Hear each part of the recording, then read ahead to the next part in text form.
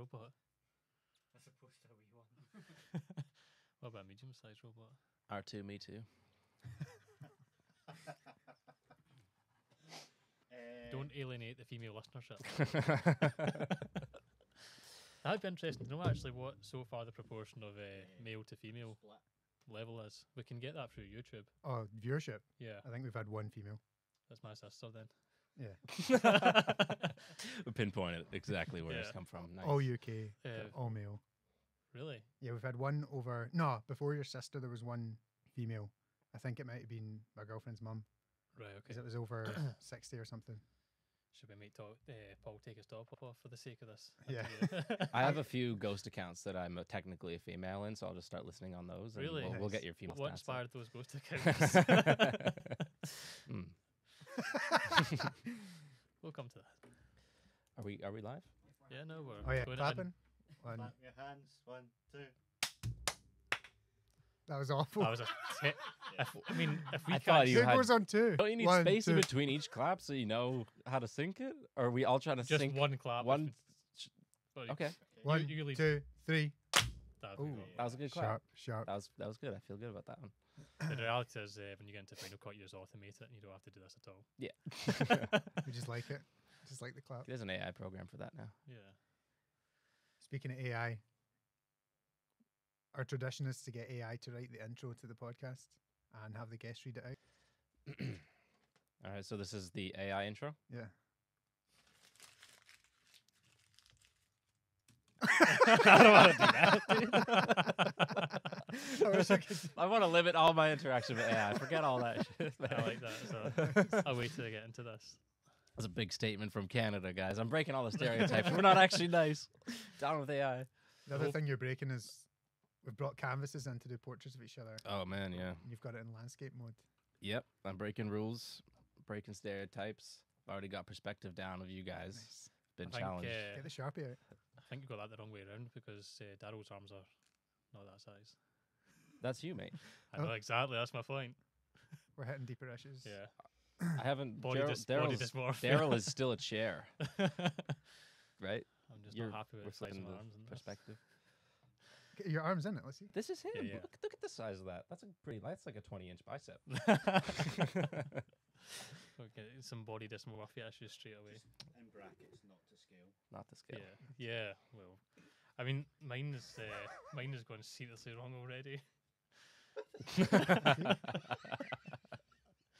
Started Fucking hell. Are Make you his tr- arms smaller. Why you is he, like why is he drawing me like a Homer Simpson, like the the circle around the mouth thing?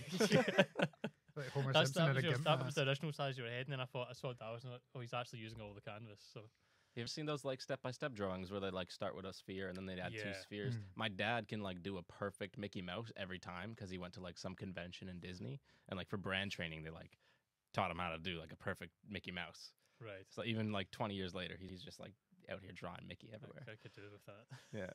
Yeah. Only thing the guy can draw, but hey, granted. My uncle does like caricatures. Like if I had one for my thirtieth birthday, so he'll do like my face, obviously, and then like wee things that my family have asked about my life and stuff. But they're they're so good. Uh, cut that story out. shall I I? was gonna say because you look, you've, you've gone, o- you've, you've got off to a reasonable start. I've got practice because uh, I do wee stupid drawings for Amanda in the morning Every morning. when I'm bored. Not every morning, no. Are you guys the type of people who will like do or like a stop at like a I don't know like a busy touristy place where like do like those like character drawings where like make your ears really big, your nose really big, or whatever, and, like make you like really exaggerated? Do you guys do that? When I was younger, I'd- I absolutely love that. stuff. Really? Yeah, I haven't done it recently. I've never No, done I've, one. n- I've never. Nah? done it. No, My ears are huge, so I I'm don't, quite. I s- don't yeah, really- I don't just kind of that. worry about like if you're thinking His about, like, dad might your- be able to your- draw you. Just your, if it's true, and if you're only worried about your arms, mate, then you go to the, one of those caricature people. Yeah, You be looking like one of those bad guys from Spy Kids. my ego couldn't take, take it probably. Yeah. so, yeah, we've not done an intro. So, So we've kicked out the AI intro, which I like because this is a chat about creativity or creative endeavors. Um, so we've we're just forego. Well, who are you? Uh, my name is Paul Matte. I'm a actor, writer, director, filmmaker, and occasional stand-up comedian. But not that occasional. Well, not that occasional anymore. I mean, No. uh, I guess I started in the beginning of the year. Um, and I've been doing it like three or four times a week since since I started. So what are the clubs that you frequent? Uh, so I've done. Um, there's a couple in Glasgow that I've done a lot now. So there's um the lounge at 142B St Vincent Street, which is like really close to Glasgow Central. Mhm. Uh, so that's Nico and Dovalu that does that show um every other Tuesday, and that's actually an African-owned venue, and so. I guess they get get an audience from like going to an African restaurant that's like owned by the same people, Okay. and they like put out flyers and stuff. So every time we do that show, it's usually like not really the comedy audience. So it usually creates some interesting um, reactions. happenings. The other ones that I do a lot are um, Jesters, which is at Park Bar near Ibrox. Um, that's every other Thursday, so I do that quite often. And uh, Salsa in Merchant City. So there's like all these like pop up ones that are like every other, usually every other week. Then like I'll kind of like moonlight that with like gigs out in Edinburgh or um, like one time things. Like I did the Britannia Panopticon a couple weeks back. Um, I did a show at um, Patty Linton has a show uh, called Tennents Laughter Lounge. It's at Tennents Bar on Byres Road in the West End. And that was a really fun one. That was like a um, by invite sort of thing. So he was like, "Hey, do you want to do my show?" And I was like, "Oh, hell yeah!" So that was like a cool moment. That was like that my first show. or something? Yeah, it's in the basement of Tennents Bar. It was a good good crowd. Like there were like people who kind of go there all the time. So it Mhm. was like um like in contrast like Nico's show is like a well cultivated like audience that like knows kind of how to be an audience for comedy. Yeah. Cuz it's almost like something that you have to learn. Um Yeah. it, it's a it's a strange thing. So like the vibe is completely different and if you're just like trying jokes out in an audience that kind of uh, is a bit more brash or like um, like more tending to like heckle and stuff, it's kind of hard to tell what's working and what's not, just because there's a bit more chaos in the room. You know what I mean? Like you can feel a bomb a lot harder when there's not when, when people are like waiting for a punchline. Yeah. It It's either have- it's either like a really good reaction or like it's an actual bomb, yeah. and then so there's like more of that like you get a better reading of what's going on with when it's like an audience that like does comedy. Yeah, yeah. See something I'm fascinated in in terms of doing stand up comedy. See your very first time, as in you saw that you could sign. Did you sign up before you had material? Did you have like a couple of things that you thought was funny and you just went for it, or like how how did it come about? First time doing comedy. Um, it was actually really impulsive. It was when I first moved to Glasgow in uh, like the first month of 2022. I'd moved down from the Highlands, and um, there was like a bistro kind of place called Tebow uh, in my East- East End neighborhood, and I saw they had like an open mic thing, and I got way ahead of myself, and I was like, oh great, let me sign up. Uh, so I went inside, and they're like, oh, do you have any spots left? I'm like, yeah, yeah, let me do five minutes of comedy, and I was like, kind of the whole month prior to that, I lived in the Highlands, and I was just like watching loads of stand up. So it's Right. like you can kind of convince yourself, especially if you're not talking to anybody, Yeah. that you could do that. Yeah. You know what I mean? How much? How much like lead time did you have between signing up and actually being on stage? I think like four days. So not much. So I had like stuff because I because I'm a writer, right? So I have like a lot of stuff written, but then like actually trying to figure out like what can I do on a mic in front of people that's gonna be funny. I kept on like writing like something that was like not a joke really, throwing it away, something that's not a joke really, throwing it away. So I got to do the actual show. Not only was it like, so I get there and it's not even a comedy open mic. Is it just a general open mic? Yeah, it was like people doing like Fleetwood Mac covers and Right, poetry. okay. So they're like, we have a stand up comedian in the audience. And I'm like, oh, well, this is bad, right? the only comedian in the Yeah, I was the only person doing jo- doing jokes in the whole place. And I got cold feet on like some of the material that I even had. So I kind of just like completely died up there. And that was like a, y- almost a full year removed from when I ever tried it again. Yeah. You know, you, know can what I mean? Do you remember anything that you said? I was say what was the Um, content? I, oh, it was like maybe the the week of the Ukraine thing. Right. I, I think I brought up Ukraine, and I, I had my friend there who was just like, "Get off of Ukraine, man, move on." um, what else did I do? Um, anything I said that night has probably been repressed now. It's no, it's no longer, it's no longer a memory? I have access to. damage. Um, but I, but yeah, like th- they're not even jokes that I do anymore, and I don't even know if like I had like really like a, a punchline or anything funny in there. Like I didn't appreciate stand up comedy as the art form that it is that I recognize it now like for a while longer. You know what I mean? But the Mhm. good thing was cuz I bombed so hard a full year ago when I was thinking about like doing it again, that's when I was like, "Oh, like I actually have to write some real stuff, like real Yeah. solid stuff." So once I started doing it again and having that experience of like knowing like that was an actual bomb.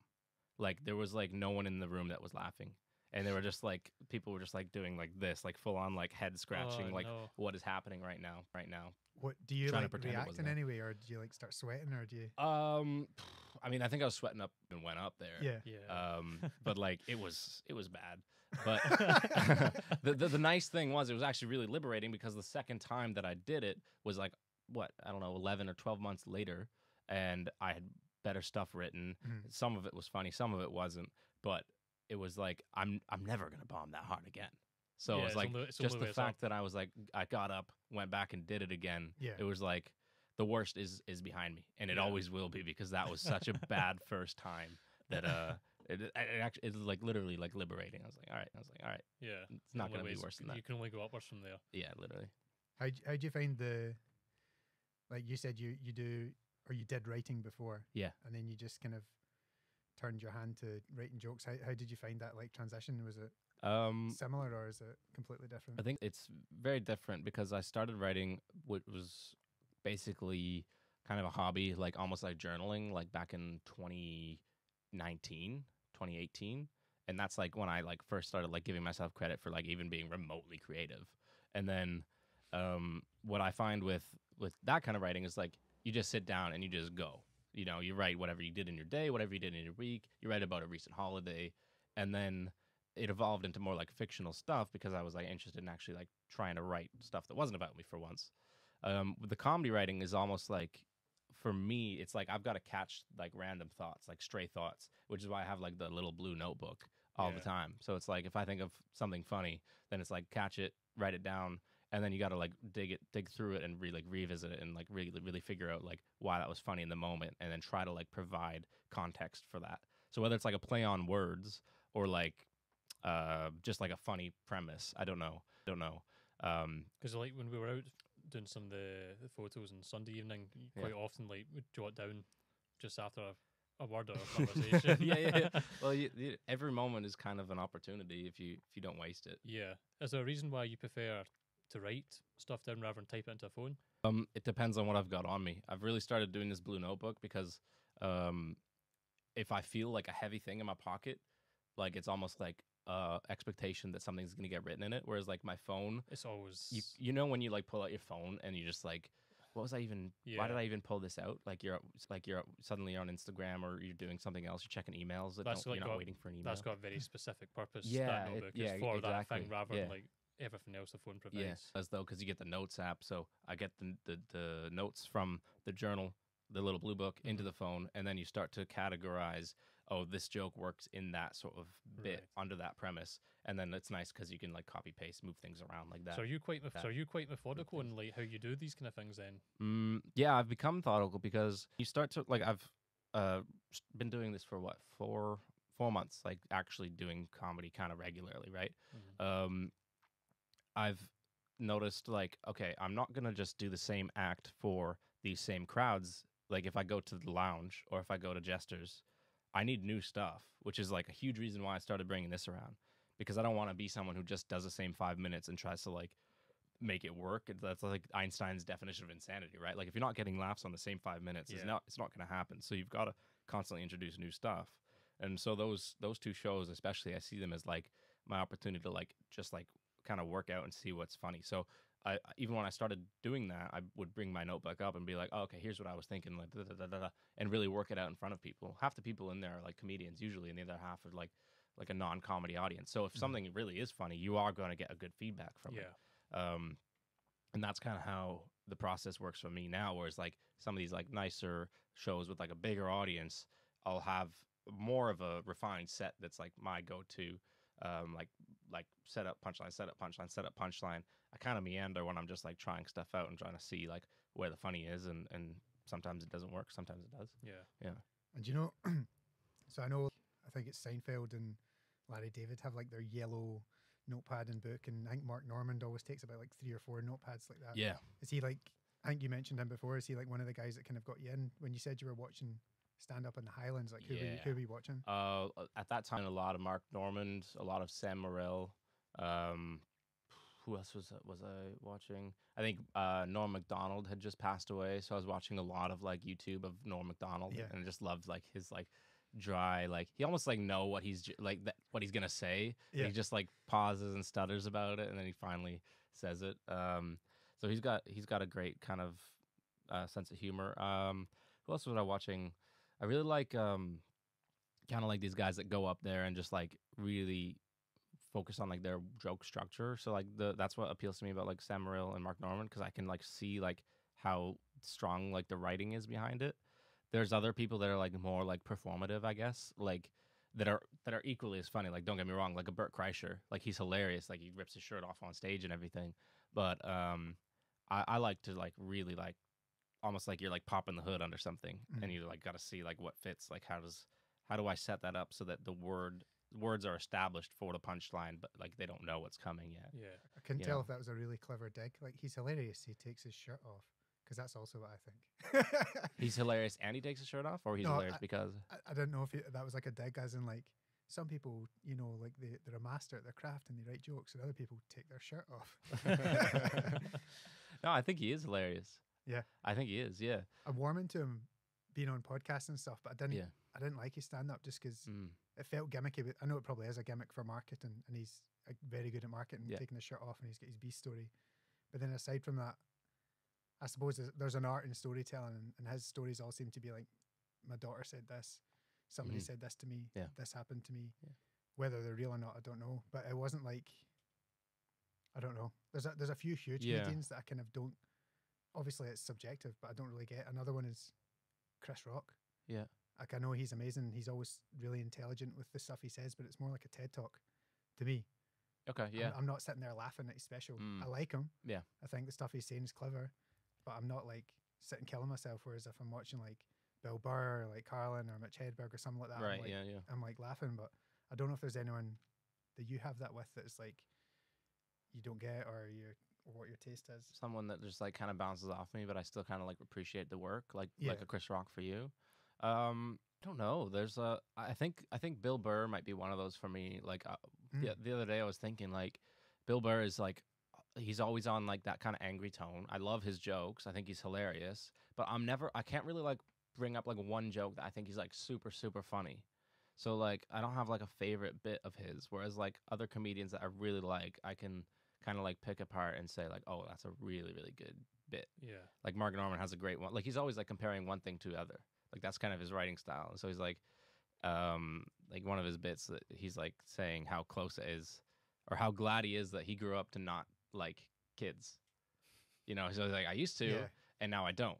But I used to like grape juice, and now I drink wine. Yeah, yeah. But I still like grape juice. That like to me is like such a funny joke, and it's like so clever. That's like for me, that's like a standout one. I can't. There's some comedians like a Bill Burr or like a Chris Rock that I don't really have a standout bit, but I can still appreciate yeah what they mm. do up there. It's almost like within comedy, like it's almost like music. You've got different genres within the same space. Like music is music, but you've got hip hop, rap, Yeah, yeah. all that, jazz. And in comedy, you don't have People the would same. take their shirt off. Yeah, you got people take their shirt off. Got more considered, Yeah. like how you construct like words and sentences to make to pull the audience in. Yeah, and you've got people who are like more performance orientated. Mm. I'm not really settling into like one one genre yet. I'm still kind of like figuring that out because obviously like I've been a comedian like a comedy fan for like over a decade, like 15 years or something. Started out like watching like YouTube clips of like George Carlin, like way back, like like early days YouTube before I even had like ads, I think. Um, and uh, so, you know, so you figure out pretty quick, like yeah, there's like storytellers, there's one-liners, there's like dry delivery, there's like really animated delivery. Um, and I don't even know where I am yet. Like I always like pictured I was gonna be like super dry, super Mhm. like deadpan, kind of like one liner, kind of bit maybe a bit shocking, but I don't even know if that's that's my angle anymore. So it's kind of been interesting to like really figure out like an on-stage identity, if you if you could call it that. Finding your voice. Yeah, yeah. Because what you were saying earlier, like you don't want to do the same five minutes. So do you find that, let's say you're at the lounge and it's the non-comedy audience, or Yeah. You're somewhere else with more comedians or a comedy audience? Do you think not only does your material change, do you think your voice changes because you're trying to please the room rather than sticking to what your voice should be? Mm. There's been a few times that um, there's um, a couple of people that I've I've like done comedy with like on the same night like a few times. Like this guy Sean Reed has been like really good on like giving like feedback. like after a show, it'll be like, oh, so when you're trying that new stuff, you really like really loose and like you're walking around a bit more. But when you went to the the stuff that you usually do, you kind of shrank and you stayed the same, and your body language changed. And uh, so it's it's interesting to hear from other people, especially other people that do comedy, like why I'm doing something new versus or like being more relaxed or maybe a bit more nervous energy even and then I get comfortable and I just kind of shrink down. So that was interesting to hear about. But um there was a there was a night where we we had no audience. I went to Edinburgh and it was supposed to be like uh you know at least like 10 20 people in the in the audience that we were doing jokes for ended up just being comedians. So at that time like I was just like I'm not even going to like do any animation in my voice because I want my jokes to work. So I was like mm. I'm just going to say the exact words that I think are funny in my head but like super dry. And Yeah. if, if they chuckle, then they think it's funny. yeah, You know what I mean? It, it's it was almost like super super zoomed in, kind of like trying to figure that out. So I, I at, a, at a certain point, I want to be more animated and, and more you know like more gesturing and stuff like that. It's just kind of hard to break out of that um that like mold that you set for yourself. Because like I've I do acting right, so like someone tells me to do something, I'm just you just do it. Yeah. but it's almost because like you feel like you're being um like it's my own words it's my own thoughts that i'm doing in, in stand-up comedy. So it's like you've got to uh, i guess reconcile the fact that you are being criticized by the audience for your own thoughts your own actions your own Yeah. personality. It's all there's, there's nothing to hide behind. No, yeah nothing at all yeah. Whereas So, uh, acting, you can hide behind the fact that someone's told you what. yeah, yeah you, what can, you're you doing, can always be like i don't know who wrote that yeah But you do write as well, don't you? Yeah. Yeah. uh, it's How fun man How did you get pre that side of things? Like, what was your what was your background? Um, grew up in Toronto, Canada. Um, and uh, was like kind of like a decent student, not great student. Went to university for um, criminal justice. Thought I was gonna be like big shot, like Yeah, Rob. Kardashian. You know, uh, dropped out in four months. right. Um, from there, I um, started working full time at my part time job, which was at the time a little Greek butcher shop in uh, in the east end of Toronto. Um, so I worked there for like five years. Um, kind of got quite comfortable there. Got really good at what I did, which was like being a butcher slash like customer service guy slash like kind of managing the store. Right. Um, and then I, at some point, I think it was like 2017, I left there, did some hospitality jobs. Um, and then COVID happened, jumped out of hospitality for because everything closed, right? Um, and back to the butcher shop for like a few months before I uh, moved here. So like up until moving across the ocean, I never like gave myself much credit for being like a creative type person. Yeah. I was like I'm left brain, um, like, and also like I kind of had that like um thought about myself where it was like, well, if you dropped out of university once, like that's kind of like your bar now. It's like that's kind of you exist here. You're gonna like work at this butcher shop, or you're gonna like do hospitality jobs. Mm. It was like Yeah. right. So How? What? What? Why did you drop out of uh, that degree? uh, I was like not ready for it at all. Um, I think part of it was like my like um disposition about school was pretty much I, I I think I was smart enough in like high school to not try. Like I think I um got like good enough grades to get like a decent scholarship without ever really doing homework or really like putting Yeah. myself into like the projects or something Yeah. um, like assignments, etc. So you get to university and it's like completely different story, right? Everything is like kind of on you. Mm-hmm. And there were a couple classes that I really found interesting. Like I, there, I did like a elective American history class. I, I thought was fascinating, and I was like super into that. But it turns out if you pass one and fail four in one semester, uh, they don't ask you to come back. so uh, that was basically the main problem. Was like I was just kind of immature and what and, age would you have been then? Uh, eighteen. Yeah, Because I went through a similar thing. Because straight out of school, I went into merchant navy training. yeah, Um, and I did a wee bit more than four months, but not a lot Yeah. longer. And then jumped out of that into basically like various sort of electrician, like just handy things, like helping people out here and there for six, seven months before I went and did studied my um, my degree in countryside management. And that was a total change. But I was, I feel like in a similar position to you. I was, wasn't the mental headspace to actually go and do Yeah. that thing. I'd have been far better working just jobs for a year yeah, yeah. and then going um, and finding something that was meant to be in. I do feel like there's also there was an element of like what was around me at the time. Like I don't think any of my yeah none of my no one in my family was in any like arts, entertainment, creative space at all. So even if I like was that kind of person, like you kind of want someone to go first, like to go ahead of you, right? Yeah. So all my family is doing like um, anthropology degrees, law degrees. Um, both of my parents were like working kind of like corporate type jobs. So uh, that was kind of like well, I was like if I'm gonna ask for advice on something, and I'm asked like nowadays I'm I'm quite uh, in a nice position because what am I gonna ask my my parents advice for? You know what I mean? They have no idea like anything about the industry in like the best way possible. Yeah. So like if I'm asking my parents like, oh, should I like go like do like freelancing stuff or like should I try to get like some like cushy position with like BBC? Uh, they're like we have no idea. Mm. And again, like that's kind of like more of like a freedom to me is like Yeah. they're just like just do good, right? so it's it's a nice thing. Um, so I feel like maybe, may who knows if uh, if there were like more like artsy fartsy people in my family, like from a younger age, maybe we would have. I would have been doing more like drama or, or visual arts or something, but I was always like really shy. So like that kind of kind of uh, energy, like wanting to perform or anything, I, I didn't know that I liked doing that until, you know, uh, 14 months ago. yeah. So what was your if you're shy and you're doing like stand up and comedy, uh, stand up and acting, Yeah. do you find that that helps you in your in like the rest of your life outside of those things once you've done it? Yeah, yeah, totally. I think like um, it, it it helps a lot of things. I don't know. Um, there's there's times where I've been like really anxious just to like um, chat to someone. Like let's say, what's an example? Like um, uh, like trying to figure out like I have the this like car, I've got to try to get it reinsured, or so I've got to call the insurance company. Like there's like little things that like I know are gonna be like annoying conversations that I have to kind of be like, why am I not getting what I want? Mhm. And then they have to be like, well, because this is this and this, and these are the rules. And I'm like, well, can you help me out with these, these like situations? Um, like just like uncomfortable conversations become so much easier, because Yeah. like you know, once you die on stage, it's just like it's kind of it's kind of nothing. It's honestly, not going to be any worse. like yeah, and and honestly, like most people just move on with their lives, so you kind of realize like, yeah, it's all good.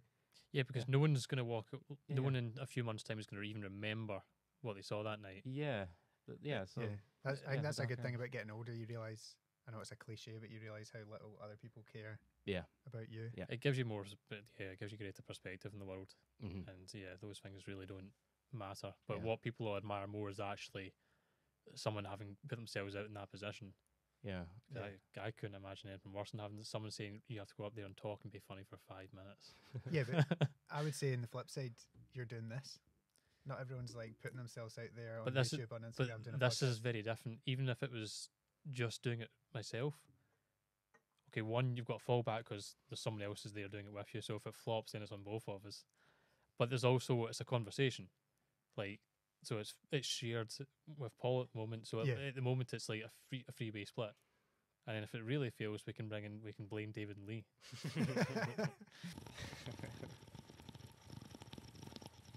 And we've gone up to three female listeners now.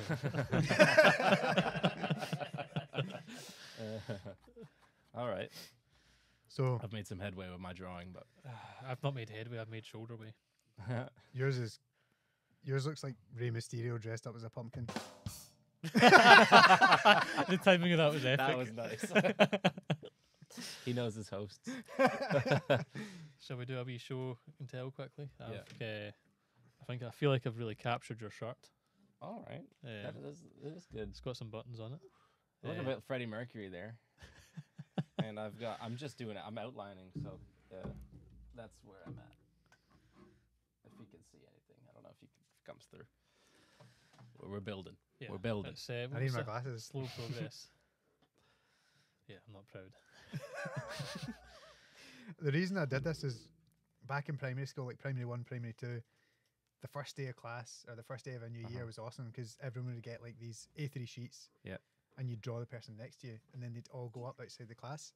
And it was hilarious because some people were just awful at drawing. It would look like, if, like a peanut, like it would look like Struan's drawings basically. it was so funny. Right. if someone as a kid had me do that, then I would for sure have not been in the arts very from a very young age. Would have just stick figure. Like, Did you ever put me in have, like. Uh, uh, you had to draw yourself for like the school tea towel. yeah, Yeah, I've got one of them. I think the I think fact that you just said school tea towel means absolutely nothing to me. I have no, No. idea what that could be. we had to we were, you had to draw yourself and basically the, for the your class or for the full school depending the size like they would take all those little sketches of yourself. Yeah. Everyone else in the room is nodding, so it's obviously a Scottish thing. Yeah. And uh, it would end up on like a tea towel, and your gran would buy it. It's basically child labour for the school to make money, Yeah, and then they'd sell the Yes. towels at like Sounds sweet. eleven pounds or something. Yeah. Did you guys ever ever have this where like so we had this thing called like Scholastic where like you would go home with like a catalog and like try to sell like things to your family members No, like like We had book books. club. Yeah, Yeah, yeah. So you, you try to book sell trolley, yeah. books to your family members, Oh, and right, then yeah. more more you got in sales, you'd get like little like almost like McDonald's toys. But I think the valuation is like crazy. Like your commission is like little plastic toy or Did like a slinky or something.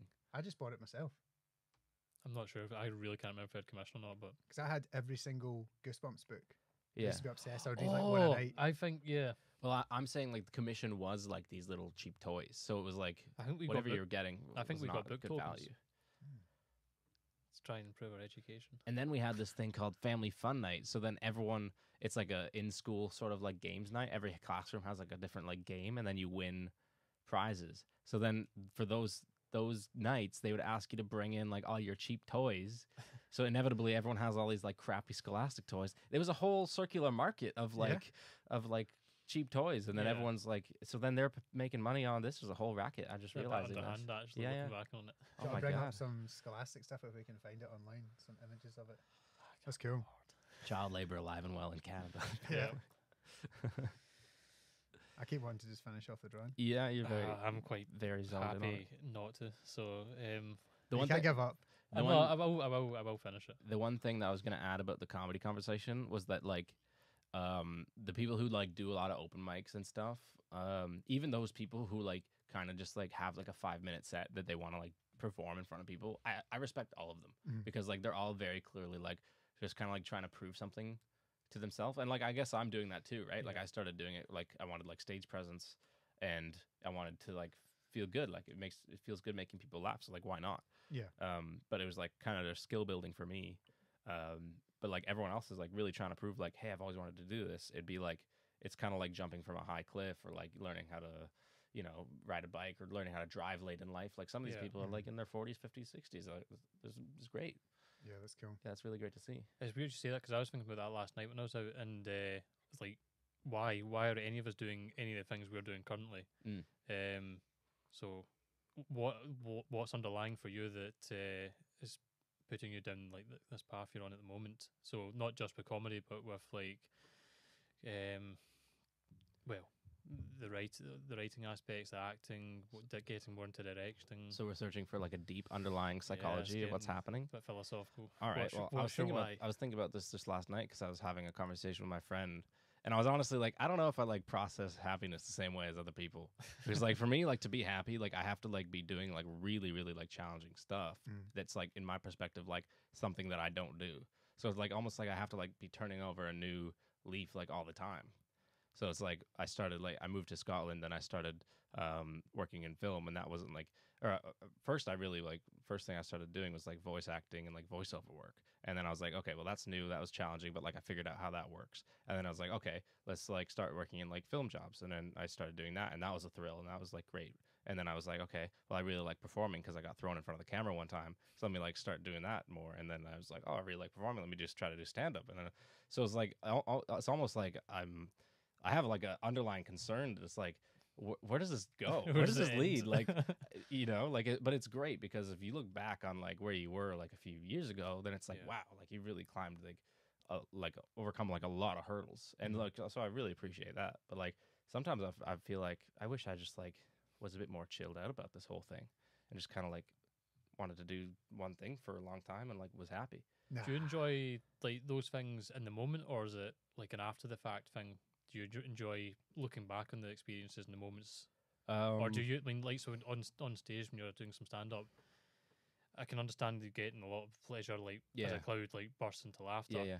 But do you get more in the moment or more after? I think it's after because I think in the moment you're like just worried about like doing a good job, yeah. right? So like, there, yeah, there's there's times where like you almost like forget what you're doing, like whatever like instinct it is. It's like just just get through it, kind of takes over, and like figure out how to do this, figure out how to do this, figure out how to do this, and then there's like a bit of a like a hop in your step. Like once you like get down, and like people are like, hey, good job, or, or however that kind of happens, then you like really feel really good. So I think that like the endor- endorphin high like happens after for pretty much most of those things.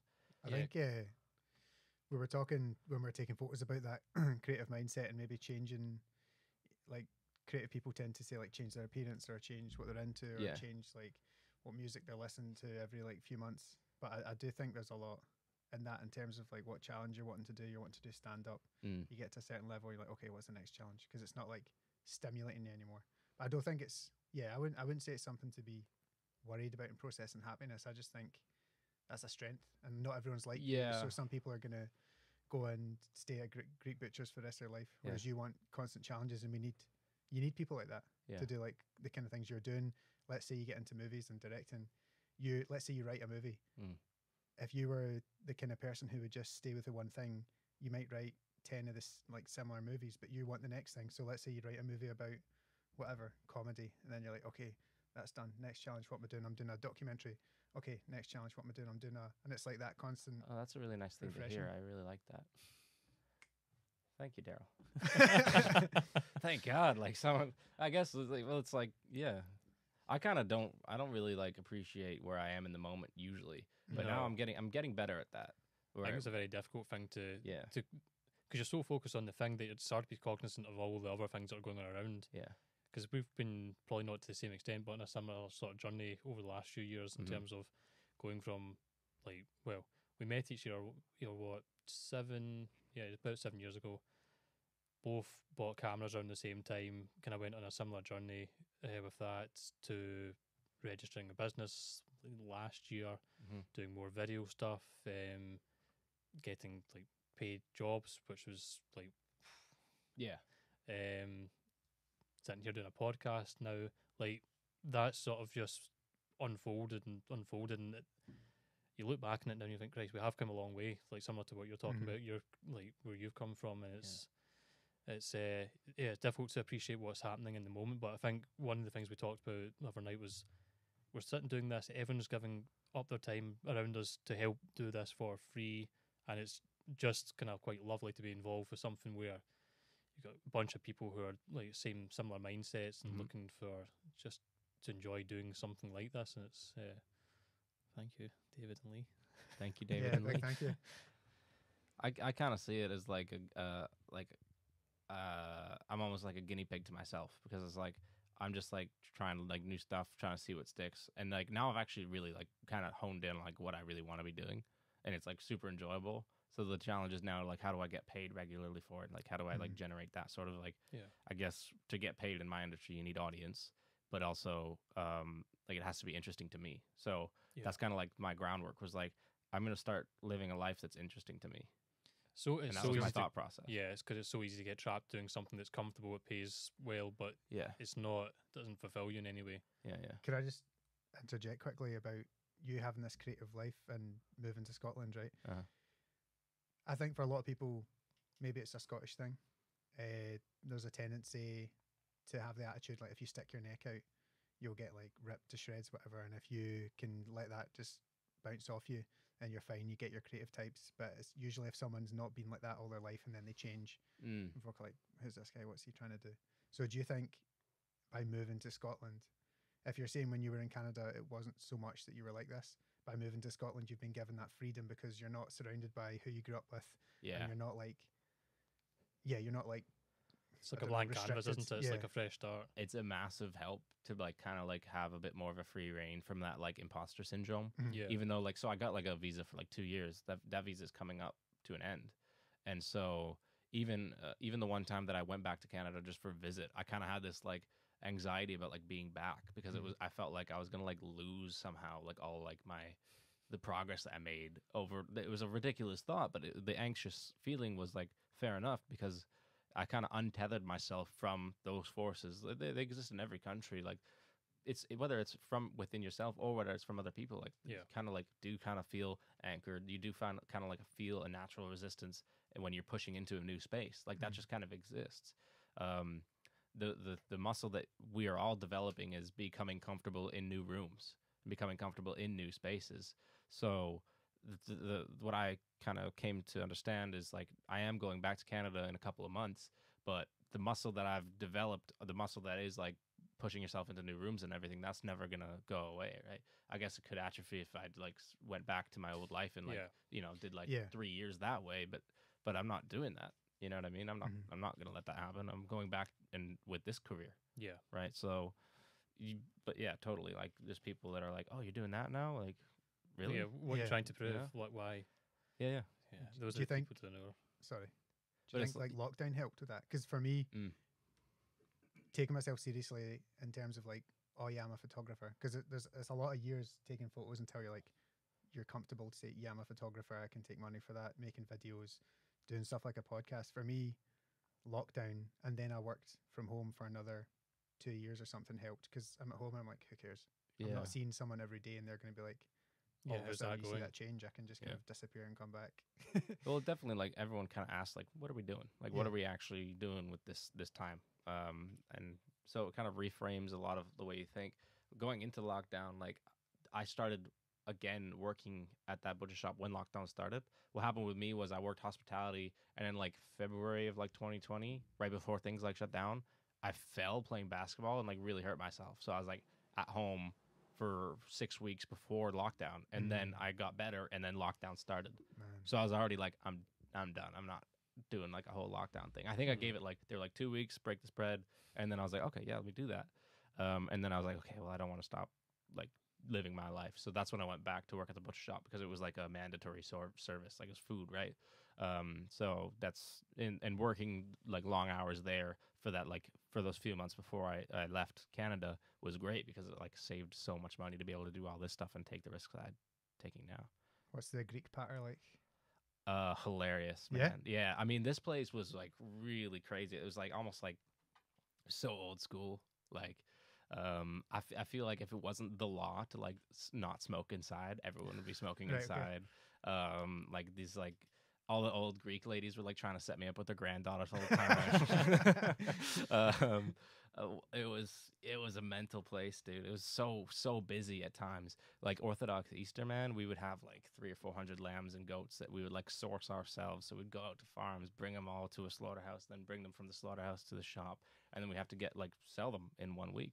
Everyone had their orders and stuff. Some people would pay us like so they do like a full rotisserie, like the whole lamb on the spit. Mhm. One time, I I uh, a few people paid us to to put them on the spit and like season them and then sew them up on on the thing. And you got to like kind of like hammer the the end of the spit through the the head, right, so that it like stays really sturdy. And then we would put the order number on the end of it, and then you know, one time I got them mixed up, so I put one spit with one person when they came to pick it up, and the the other person uh, took the wrong one, Mhm. and then um, I got to my boss would have the staff over for Easter Sunday. So I got there at like 2 p.m., uh, ready for like enjoying like an Easter afternoon uh, with the lamb and everything. And he's just looking at me like, you have no idea what I just had to go through. Right. Because the guy who whose lamb I mixed up like called him like at 7 a.m. that day and he was like, "You- you- "Your guy gave me the wrong lamb," and so he had to go find the lamb that I gave him. Go through like all the orders that were like in the Yeah. bin, right? So like trying to figure out the phone number. Then he had to drive like two hours out of town because like Greek people, they're like they're not all like right in Greek town, right? So people drive like hours just to go to this Greek Yeah. butcher shop. Uh, so this guy was like driving around half of Canada trying to get the right lamb to the right person. It was so horrible. What was like? What was the difference? Was it like a more expensive? I think what, what it or was was like the the end of the spit has to like fit in like the like motorized spinny thing. Mm. So oh, right, so, it's so specific to that. yeah yeah. Rota. So even if like it was the right lamb that he paid for and it was the right weight, if the spit itself wasn't proper, Yeah. then it wouldn't fit, and he wouldn't. You'd you'd have to have two giant 400 pound dudes just sitting there turning it with by hand Right. somehow. So never gonna work. So I got there and I immediately felt so guilty because he literally spent like, first of all, like I don't know, 80 hours that week working in the store. This old like 65 year old Greek man who I actually really loved so much, but then he was just like. You have no idea what I just did. I was like, oh, So you fled the country. And I was like, "Mm, this is great. yeah, so I fled the country exactly. Damn. So, in terms of like the grand vision, like where where would you like to see yourself in another five, ten years time, Five years Or- from now. or longer? Like what? What's Yeah. Eleven. it's hard to it's hard to like format that because I think like what I care about could be completely different in 11 years and I'm kind of Yeah. at peace with that. What I care about now is like telling cool stories and like getting to a point where I have that position. Like I I I- mean there's so many there's so few people who like really get to like write, direct and like make their stories happen. So like if you write screenplays and then you know you can if it's a TV show or a feature film or a short film like I, I don't know, one out of a hundred or one out of a thousand that people write get made. You mm-hmm, know what I mean? Mm-hmm. So like just getting to that point of like being able to like get my stories that I want to write made is like a huge priority for me. So that's what I'm doing. Like everything that I do like in the creative space, like in the acting world and like in doing like production jobs, like that's all just like me trying to get to that position, to that Yeah. like level of influence where like my thoughts matter, like my stories matter because at the, at the end of the day like so many people want that but there's a whole graft that you have to do you can go indie which i'm happy to do like i've directed uh, a couple of little short films like one a documentary one a fictional one and so like there one's released the fictional one i'm still editing but like you can go indie and you can get some rapport that way but at the end of the day like you've got to be constantly involved constantly like Yeah. meeting people and and gaining that reputation so that's that's my like goal and and i'm happy if it takes three years and i'm happy if it takes 11 years um Yeah. but uh, that's kind of where i want to be uh acting is so much fun because you're meeting people who have that that privilege to tell their stories right? Mhm. every time you walk on set as an actor you're meeting a director. And they they have that experience that i want to have. That's the experience that i'm hunting is like they're the ones that are telling you what to do how to tell a story. Yeah. and it's like okay like let me like even if you're just getting a little tidbit of knowledge from how they operate a set like the director is the chief right? They're just like in charge of everything there. So if you get even just like one little nugget of information about how they carry themselves or how are they how they organize things how they organize like a script breakdown even you know what i mean? Like just working with a director and being like oh i had this in mind for this line and this this in mind for this line and how this little micro movements in a scene like building a scene is super hard. Building one scene is super hard. You work on a show for not long enough and you see them do this like four or five scenes over the course of two days. Yeah. and it's just like constant like you are constantly telling a story with every little action right? It it's so cool that's the world that i'm like just infatuated with And who, in terms of what you've worked on as like an extra or an actor, who who's been your biggest like inspiration in terms of director? Um, the, the there was a I, I don't know his name, but the guy who directed Outlander that I was um like a featured extra on, he was really sharp. Like he and he was super sharp about the story he wanted to tell. But he was also really friendly and like outgoing. So like he was always chatting with people, and it didn't really feel like there were any like barriers up, even Mhm. though it was like a massive production in a massive studio. Um, I really thought he was great. Um, I couldn't tell you his name right now. Um, the other guy was the the first time I stepped in front of a camera.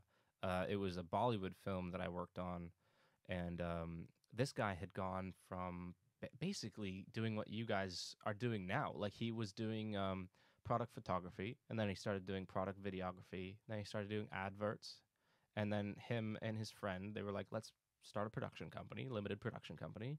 They started doing um, lots of adverts, and then the right person came along and he started he, he got a script that he liked for an action film and then you know he's flying to to Scotland and Nice. and doing an action film in in Scotland and in India with a huge uh with a huge star it was uh, John Abraham who's like a footballer turned uh, model and actor in India he's like a Right. huge Mhm. huge deal for them um so like dude dude and dude had no qualms about any of it like he was so comfortable and he was so chill you know what I mean? Like uh, there were times where we were having lunch at the same time, and he was just sitting across from me, just chit chatting. Do you know what I mean? Like Yeah, I, I appreciate those people where like it just doesn't feel like the barrier exists. Like I Mhm. wouldn't want to be that guy that like that really is like you know you can't be here, you can't do that, and that doesn't that exists in some parts of like the film industry, but overall like it's pretty easygoing. Like I I, I find. So I think we touched on that when we are taking photos as well. I don't want to keep saying that because I was asking with You mean our hike? yeah Yeah. yeah I was gonna Struan put you in some dangerous situations for the photos. I'm Uh, not sure. Our hike and athletics test. if we can get a couple of behind the scenes shots of climbing up the mountain, put them up just now. yeah. But um, I was going to ask so, from an outsider's perspective, um, when I was doing the joke writing, I, w- I was on Twitter a lot because it was news related. Mhm. And like you were saying earlier, you have to kind of keep working and build a CV. So my original plan to write jokes was to build a CV to put forward my own TV show idea. Yeah. And it was a comedian that said to do that. But eventually I was just like, I hate news related jokes and it's not funny and it's all about COVID right. how many weeks in a row can you write a joke about COVID? I, I don't have that in my skill set. But um, I forgot what I was going to say. What was I talking about before? But writing. Uh, oh yeah, Building so a CV sort of. from an outsider's perspective on say like Twitter and stuff, ki- like the whole comedy world seems quite cliquey in terms of maybe like Scottish comedians. Uh, just by looking at like who likes and shares all their own stuff, it all seems like Mhm. it's a wee group of pals, and then you get another another group of pals, and there's never a crossover. Right. But is it? Do you find that in comedy from who you've met, or is it the same in acting and stuff like that? Or Well, for acting, I can't speak so much on. Like, I almost think that, like, it, it, for me right now, from my perspective, it feels like as an actor, I'm on an island and I don't interact with other actors yet. I don't feel like I'm in as an actor yet. Like, I feel like it, it sort of changes when when you get an agent maybe and and you you're starting to get on more shows and you know oh how long you been doing this you have this conversations oh what have you worked on that kind of thing uh, i am not really in that sort of space yet so um, that's a room that i'm still trying to break into Mhm. um, but with comedy i can comment because in comedy that's like what you talk about. You get to a gig and you're like what was your last gig? How long you been doing it? How many gigs you done? Where do you usually perform? Um, and then that's kind of like the basis for everything. So you kind of you kind of immediately map out like are you glasgow based? Are you edinburgh based? Are you starting out? Are you experienced? Right? like if people are still if you've been doing it for four years and you're still only doing like open mics then i've already kind of come to a conclusion that like you might not actually be that funny Mhm. Yeah. or you might not be funny at all um but there's but then like there's people I, I don't know if it's like cliques per se or if it's just like levels like because there's people who host Yeah. shows people who host shows have been around comedy for a long time and they they decided they want to get more out of it so if someone hosts a show that means they're they, they're trying to maybe develop other funny people they're trying to get people in a room to do comedy they're trying to sell some tickets maybe they're trying to make some money and then they're having comedians in and i think maybe more of like the cliquiness comes between those people Mm. like I don't I don't feel competition between like other people, like other open mic people, because it's like, what, what am I gonna do? I'm not gonna like fight over a spot, Mm. right? That's never. Re- I'm not in the position to choose a spot. If people want to have me because they think I'm funny, then that's great. Yeah. But I think maybe between bookers and stuff, there would be conflict because it's like the bookers are like saying, "Oh, I got to get a host. I got to get a person to do 20. I got to get a headliner." So I think that's maybe where more of the the stuff comes in. Once money's involved, really, Yeah. it would be more Yeah. more of a thing, like more of a uh, a clash. But for me, like I, I am still a a visitor almost, where it's Yeah. like uh, I'm doing it for me. Like everything is just kind of like for my own development and just like trying to enjoy it. So I'm not really finding any any people that like give like pushback to to what I'm doing in the space. Cool. Yeah.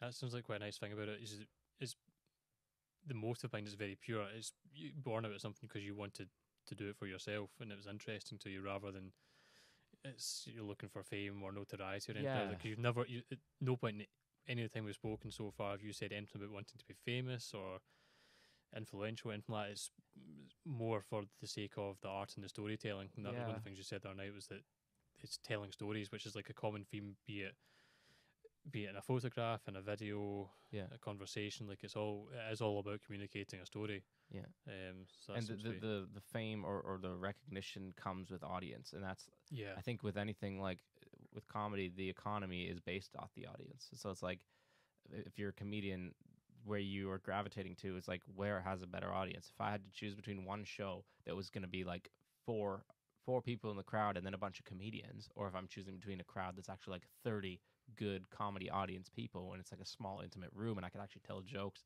and try to hit punchlines and everything, you know which one I'm going to choose because it's the audience that I do it for Mm. Mhm. and also you get more out of it Um, so it's just like that's that's like that's the main currency. It seems like in comedy is like is is getting people in seats to to listen to it.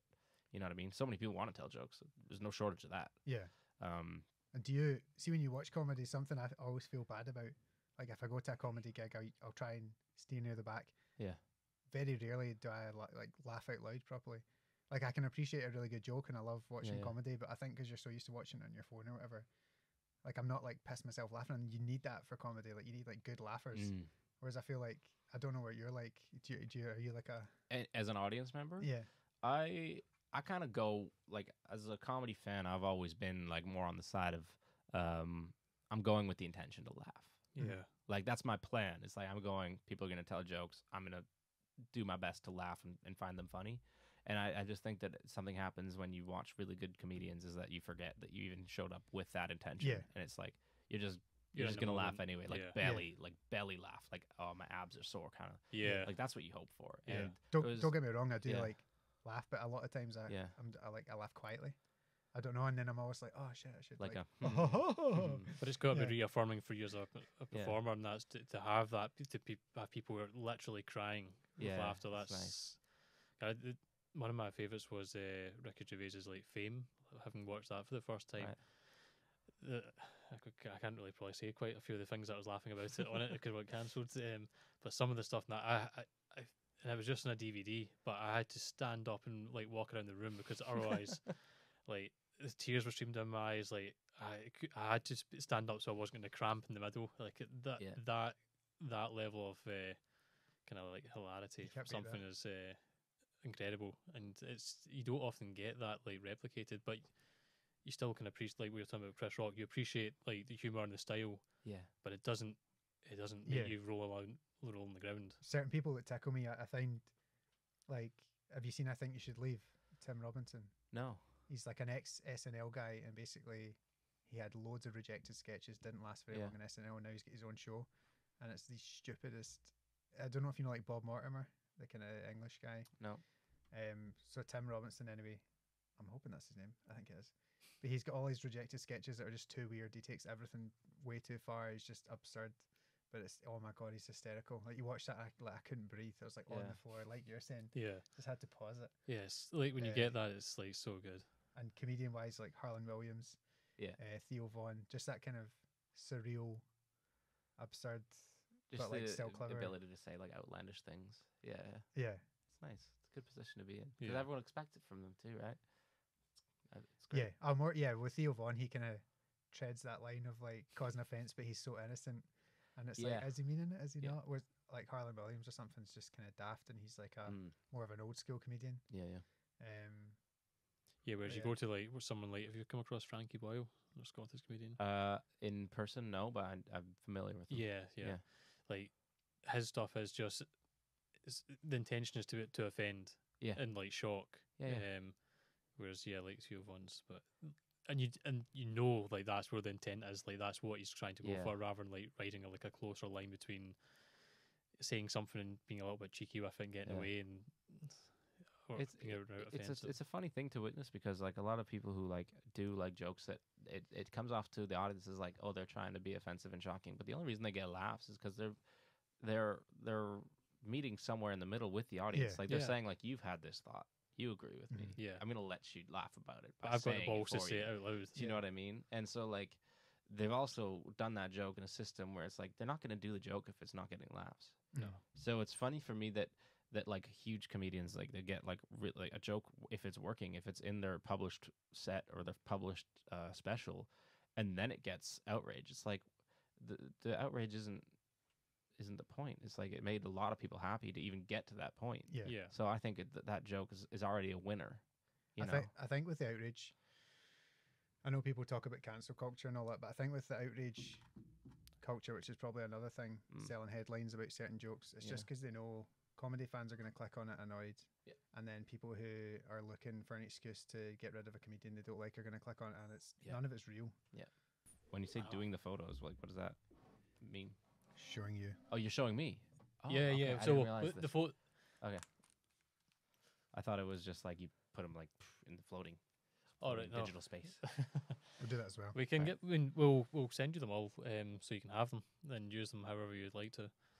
Um, but yeah, so we've uh, entered that section of the podcast Cool, where we, okay, I'm excited. we we show you the goods, Hiking so to pics. speak. Yeah. And me hanging off a rim. Yep, there is that too. Sweet. That's uh, we'll st- that was so innocent as well. So we'll do this and not lose the mic. So I've kind of categorized these as like uh, there was like four elements tonight. So we had some Right. basket. So these are sort of more sort of the random shots. Yeah. Then Mm. we had you walking through the flowers, which Yeah. for the informed amongst us are called gorse. Gores. Gorse. G U- Gorse. G U R S E. Okay. So it's those yellow flowers. Yeah.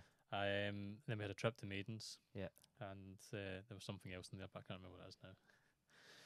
Uh, the, the cliff, the rocky cliff.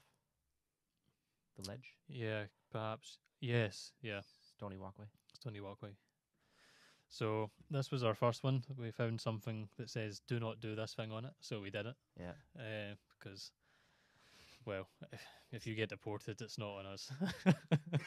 I'm already getting deported. It's happening. exactly. Yeah. So you it's get- time. My time is now for Can rule breaking. Can I just interrupt while we're talking about rule breaking with the landscape and the AI? Yeah. Just in case people think I'm into AI and you two ganged up on me to get rid of it, right? I was also I was in on it. I didn't want the AI either. I was trying to get rid of it, right? I was in on it. Please don't think I'm in it. Right? I just had to clear the and air. also, and It also, annoyed me. You're like, I agree with Paul. I hate AI, Dano. And I was like, to be fair, see the AI as well. So far, you have uh, done a bit of your own editing to it and added things in. yeah, So it's um, tweaked it. tweaked it quite a lot. I actually did it on work. I was doing a training on like diversity, and it's like write a paragraph on how you can promote diversity in your teams and stuff. I was like, a paragraph, so I just got AI. It's Really, good, yeah. AI, teach me how to be a good person. Eh, please. everything said allegedly I did that. I'm just it's a joke, right? It's- it's I'm not all- telling you where I work. I don't represent the views of my work. Well, clearly, if you needed AI to teach you about diversity, you don't. work- You no, don't but like how to promote it in the workplace. Yeah. oh well. So th- Uh, back to photos. okay. Yeah. So I really go. like that. That's cool. So yeah, and this was like quite fortuitous because you are a big basketball fan. Am, Um, yeah. And so we were in a fairly uninspiring evening in terms of light at that point in time. Yeah. Uh, rocking about trying to find something like to hang a, a story on, and I like what you did there. That's good we got you to ha- hang from the rim. And uh, I think the next one shows a little bit more clearly, right in the middle of the hoop. Yeah. Well, no, no drum. uh, do not climb. Do not climb. Yeah, so that was the the, the bit of the thought process behind that, Yeah. but it was actually quite just fortunate. If we'd if we'd really been planning, we would have had a basketball and all this stuff scoped out in advance. That's but uh, we fly by the seat of our pants here.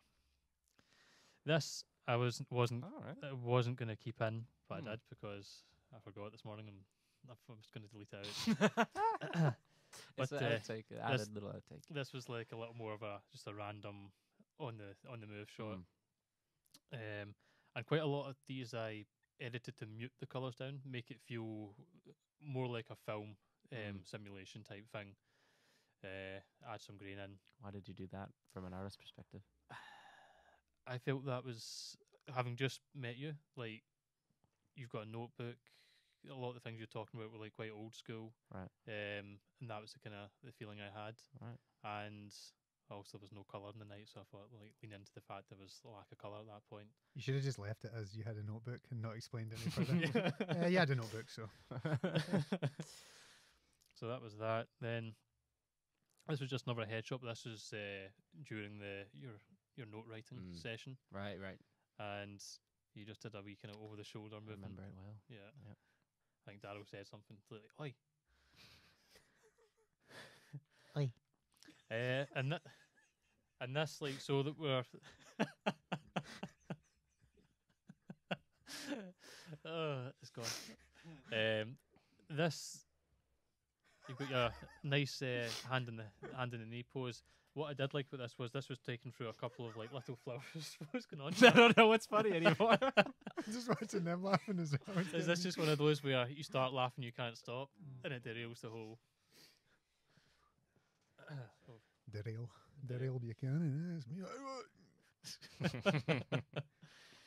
I like this because this was shot through some of the, the red camping, another wildflower Yeah. uh, that we had on the, the Oh, is that the uh, what's so that's obscuring what you've got a couple of splodges of colour there, Ah, and your nice. hat's gone slightly purple.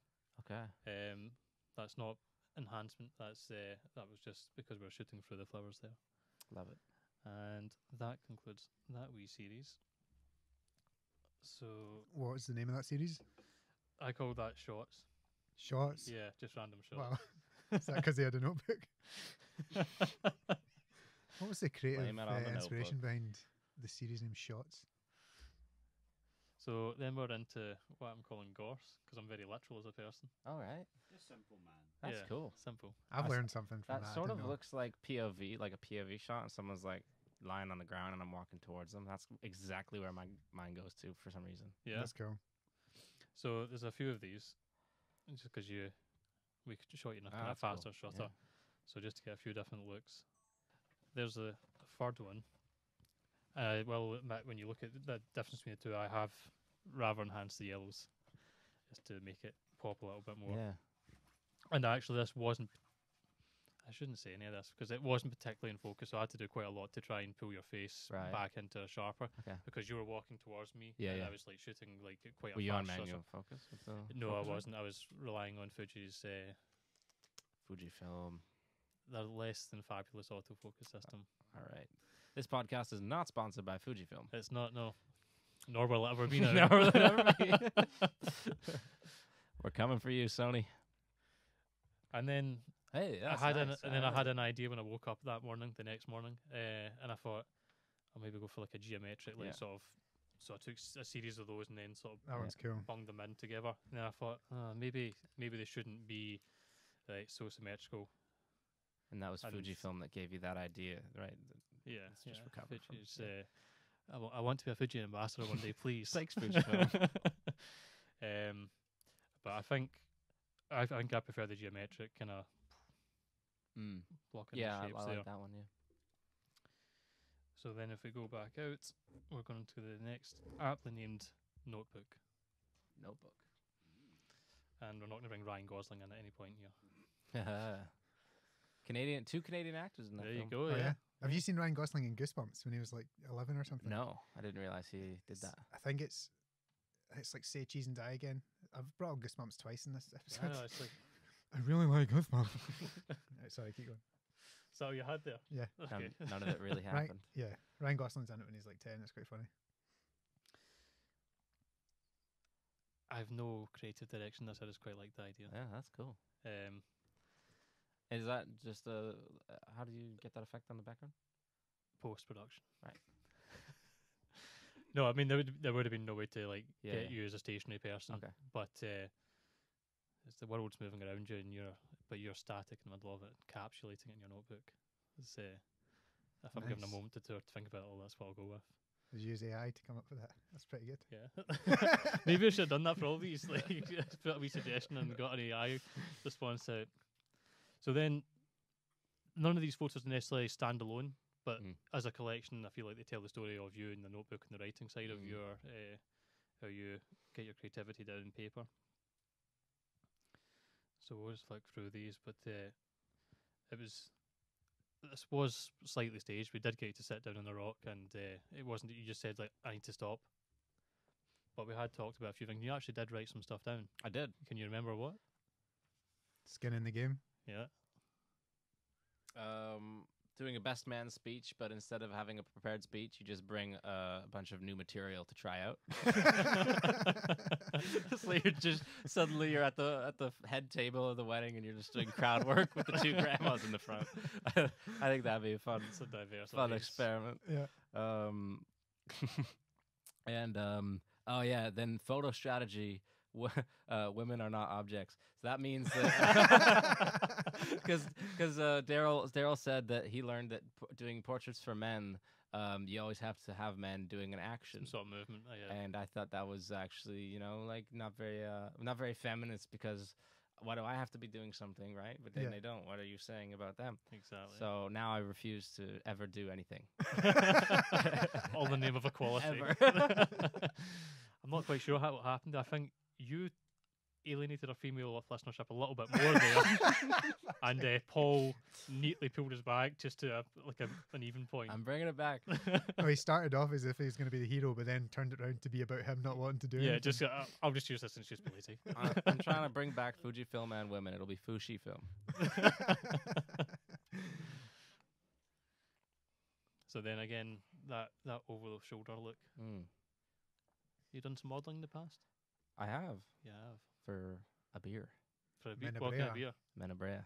Oh, Yeah, yeah. well, It wasn't Do like you not listen? It wasn't. It No. wasn't like you know, like I'm like wearing like a like some sort of like clothing collection. It was like a lifestyle shoot where like they like made like a nicely decorated flat with like all this like charcuterie and like all of their beer around, like in bottles and in in like pint glasses and stuff. Do you recommend that particular beer? It's a nice beer. yeah, it's nice. really They nice have it beer. at It's a Paisano. it's a premium Italian Oh, do lager. they? Yeah, a wee Menabrea and a wee number three. Premium Italian lager. There we go. Do you all look into that camera and say that just for the? Menabrea, premium Italian lager. That was very Ryan Reynolds. Yeah. And then just Trying, to to, trying try to get the women back by mentioning him. and I'm just trying to uh, peek into your notes. Yeah. But uh, he did a very good job of masking it with his, with his claw hand. Who's you- you're not drawing my hands yet, thankfully. No, I, I'll those you, at this moment. I can show you what your left hand looks like. Oh there you go. Oh. I, I especially like the, the, the no neck. It's going that way. Well, I haven't drawn in your beard yet. Ah, okay, fair enough. You're very sort of a like drawing like that. I think this It's, is all uh, Paul's world. It doesn't doesn't reflect reality. Okay, so that was the last one in that sect. So then we're on to maidens. Whoa! I went for a little that's cinematic Really cool. uh, yeah, teal and orange that is great. because at that point we didn't have too much colour Square. We, we did get a fantastic sunset just as we were thinking about heading home. But Wow, uh, man, that's I a great shot. gonna he's he's did making you- your biceps wider because he Did- likes. I'm adding bicep aids. did, did you did you see that already? I've had a peek this morning. I love. There's a few Oh, shots that I loved. Yeah, Um, so yeah, just thought lean into the orangeness in the jacket and the kind of blueness that we had in the sky and uh, pull those colours out a bit. So I kept with that, and then so we Wow. got you to walk away from us, Yeah, yeah. and then we got to walk back towards us because we were we're pushing the boat out here. That is cool, man. like 28 days later shots. yeah. To me, I think inter- I'm thinking Interstellar when I saw that first one. Mm, Right, Yeah, yeah. when they're walking in the, the very watery planet? They're walking away from. yeah, it? yeah. That's oh, dude, this is so cool. and for our work and for I, I'd take quite a lot of photos and video stuff for like my my day day job. Yeah, Um, and I'm always thinking about okay, if you take a portrait, you really want a landscape because it the format, like depending where you're posting it, changes. mm-hmm. Uh, so that's something I'm trying to be a bit more like aware of when we're out and about doing stuff. Is like Right. if it's going on Instagram, portrait works better for the most part. But Mm. if you're, I prefer landscape, like as a just as an orientation. Right. Um. So that's why you got a wee portrait there as well. Also, I think we've talked about it before. The fact that Instagram now controls what you should be doing in terms of creativity, Yeah. what songs you should be using, what format. Well, it's just like piss off. yeah. Do Yeah. stuff. yeah. This is what does the best. So let's do more of just that. Yes. That like it pushes bottlenecks creativity. Does Yeah, it not? yeah, absolutely. Yeah, absolutely. Yeah, yeah. Uh, silhouette because it had to be done. That's really cool. And as a as a finale, I was wondering when that was coming. That was my favorite one. Oh, That was right awesome. Yeah. on. Uh, it was an, like an hour when I woke up the next morning, kind of like we talked about like the last couple of episodes, I think, with like the John Cleese book. Yeah. Like you, c- I edited most of these the night before. Yeah. Uh, and I was up early one the next morning. I was like, I had ideas and I woke up for some reason, and so I just jumped on the laptop and finished doing, like, just masking out like because Yeah. I took a series of photos of you as you walked along that wall, Yeah. and then just mm, like mashed you out and like imported the into That's isn't that a hard shot to get though? Because don't you have you're not on sticks, right? So you're shooting that freehand, which Yeah. means you're the background didn't move for all one, two, three, four, five, six of those shots. I admire your confidence in me. Good job. Everyone, round of applause for stream. Like honestly, no, that's like pretty cool, right? but no, I, I um, That's not easy. but no, I, that that is a, a shot. I was like, most well, not a shot because it was a serious shot, but as a, as a concept, I, I quite liked. No, when that I was was- really when nice. Did you know you were doing that when you took the shot? No, not at the time, Okay, no. okay. But it like came to me after the fact. Man, I wish I'd like had the foresight. cool. So title, artist name, top of the picture, gig dates down the right hand side of the picture. Yeah. Well, I thought about that when I was like uh, putting it together as a as a composition. Yeah, that is really cool. that, that is totally like uh, if I became Sarah McLachlan overnight and wanted to like make my album cover. Yeah. That's it right there. If you're talking about changing your voice and stand up, you could be like many voices. That could be your special. Mm, you just change every two minutes, mhm. different style. Yeah, Jim Carrey, I'll I'll give Anthony a Jeselnik. I'll give a comment. Like so, one of the actors that I worked on in the little short film that I directed, his name is Silas Sabosh, who also does comedy, and I Mhm. recently saw him do like a live set, like five minutes. And he's he's Eastern European. He's from Transylvania, and so in his act, he's like flip flopping between Right. different like kind of like Mm. stereotype accents versus like how he really talks, and then like does a Scottish accent, and he's doing it all really fast. It is funny, man. He's really great. That's a cool name. Was Yeah. it Silas? Silas Sabosh. See, there's a Silas in my school. I'm sure. Uh, It's take it he's not from here. Uh, no, no, No. he's yeah. I think he came from like Transylvania straight to Glasgow, if I'm not mistaken. Right. Okay. But is that that's That, that's, that's so cool. just- that's all I've got. For what a collection that is. Thank you, man. So we will we will make those available to you, and then if there's any royalties to be had, some point in the future, When you make it, yeah. yeah, Yeah. we'll put tiny wee copyright signs in the bottom. there's other uh, behind the scenes shots of like Struan taking photos of you and a couple Yeah. extras. But we'll as we'll well, but- throw those into the the edit of this podcast for the excited to visuals. see them. Yeah, Yeah, that is cool. Cool. Make me look like a really dreamy sort of. oh yeah. He's a dreamer. He's a visionary. No, he's an idiot. Um. Thanks, guys. So with the uh, the things you wanted us to cover, or you thought might be interesting to cover, one thing stood out to me. I was trying to save it to the end. Mm. Uh, there's a story about blowing up a car. yeah. Yes, I I blew up a car in uh in the middle of Glasgow. It happened. Um, this was like on that Bollywood film on the summer that I worked on. Right. Uh, and uh, I thought it just meant like recreationally. here's the thing. Also, just sub sub sub circle around. When I this is the first time I ever was in front of the camera, and uh, it was a Bollywood film, but it was set in Iran. right. Okay. And so I think the reason I got the role in front of the camera was because we were like running out of Scottish people who had like agents, like whether it was like extras or actors in Scotland that look like they could pass for Persian. So like I'm like not by any means like Persian looking, but like at least I have like a bit of a tan, like Mhm. darker hair, darker eyes, so it could work. Yeah. So I shot two days, and I was in character. In in both days, I was like kind of like a hacker guy, um, in like the bad guy's base. And then so we do the first scene on the first day, and we're gonna do the second scene on the second day.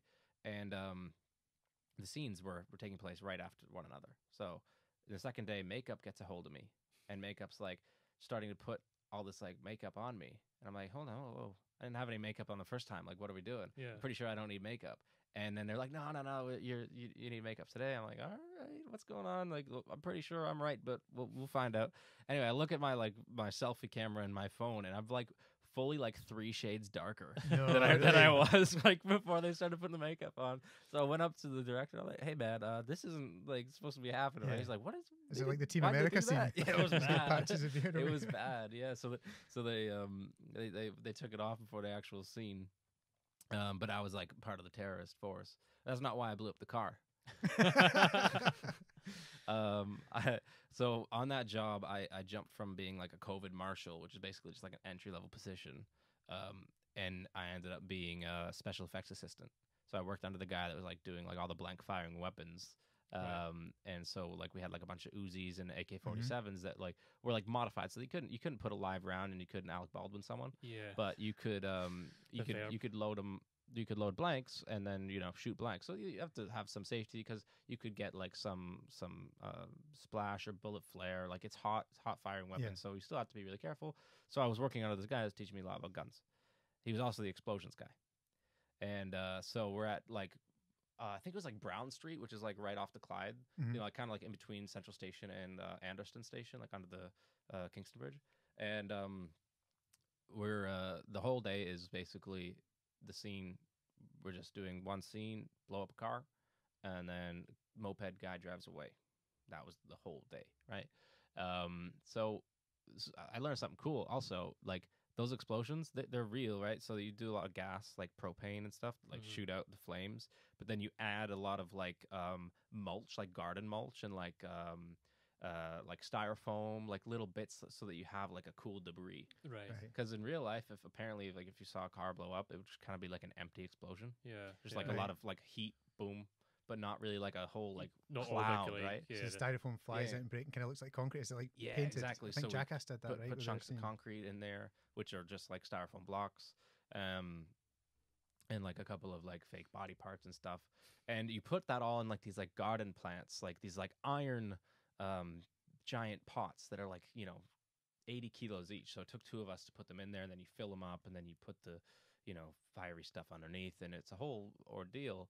And then you know you've got like security and and like um like police on the day to like make sure everything's fine. Mhm. So my boss, the special effects guy, is like, okay, we're gonna get ready. We're gonna set up, and then uh, we, we're getting ready to go. The police are like, no one can be behind this line. But we had parked the special effects van, which like like closer to the explosion, and I was like, I want to watch, right? So my smart self gets in the gun van to watch this explosion, which is only like 40 meters away from the actual explosion. And then I'm watching it in like the re- rear view mirror of the van because it's parked Right. the other way. And someone else who was like watching saw me looking through the mirror because we weren't actually even supposed to be looking at it. oh no, did So I had yeah. the best seat in the house to watch this car blow up. It was awesome. And sure enough, we did huge flames. The effects worked exactly right. And then my my boss, special effects guy, and the firefighters that come in, they put out the the flame after the the shot. There's they yell cut. Then immediately you got to put it out with, and like 30 seconds later, my boss is just like, "All right, get in there and see if you can pull anything out."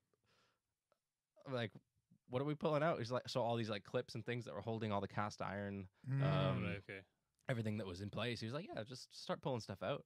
I'm like, "Dude, it just blew up, man." like, so for me, like, I was like, I just walked onto this job. Like, is this like there's there's no step in between, just like boom, and then like send the kid in, let's yeah. see, see what he can get. It'd have been it a lot worse if you were still three shades darker.